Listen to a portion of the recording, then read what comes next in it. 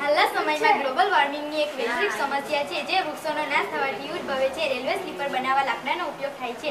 એનાથી વૃક્ષોનો નાશ થાય છે. અને વાતાવરણમાં કાર્બન ડાયોક્સાઇડનું પ્રમાણ વધે છે. તેવી જ રીતે પ્લાસ્ટિક પણ એક અવિઘટનીય પદાર્થ છે જે જમીનના પ્રદૂષણમાં વધારો કરે છે અને તેનો સરળતાથી નિકાલ થતો નથી. આ પ્લાસ્ટિકનો પુનઃ ઉપયોગ કરી પર્યાવરણને થતા નુકસાનને અટકાવવું એક મોટી સમસ્યા છે. આ માટે વૃક્ષોનો નાશ થતો અટકાવવા અને પર્યાવરણીય પ્રદૂષણને થતા નુકસાનને અટકાવવા અમે રેલવે પ્લાસ્ટિક સ્લીપરનો પ્રોજેક્ટ રજૂ કરીએ છીએ.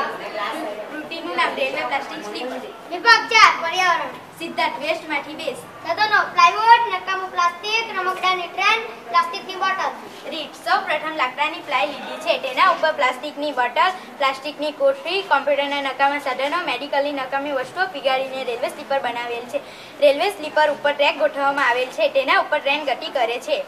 ફાયદા. પ્લાસ્ટિકનો કચરો અવિઘટનીય છે. જેનું આ પદ્ધતિથી પુનઃચક્રણ કરી શકાય છે. જમીન અને પર્યાવરણીય પ્રદૂષણ ઘટે છે. લાકડા કે કોન્ક્રીટના પર ભરે હોય છે. તેથી તેનું એક જગ્યાએ તેથી તેને એક જગ્યાએથી બીજી જગ્યાએ લઈ જવા મુશ્કેલ છે.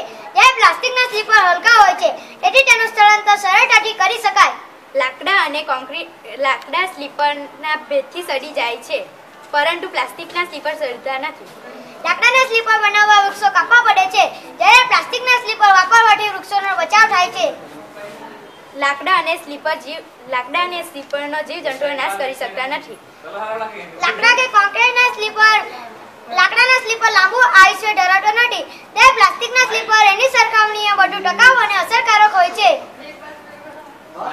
લાકડા અને કોન્ક્રીટના સ્લીપર તૂટતા તેનો ફરીથી ઉપયોગ થઈ શકતો નથી, પરંતુ પ્લાસ્ટિક તૂટતા તેનું પુનઃચક્રણ કરી શકાય છે. પ્લાસ્ટિકના સ્લીપર, પ્લાસ્ટિકના સ્લીપરની જાળવણીમાં ખર્ચ નહિવત છે. જે લાકડાની સ્લીપરની લાકડા કે કોન્ક્રીટની સ્લીપરની જાળવણીમાં ખર્ચ નહિવત છે. ખર્ચ વધુ થાય છે.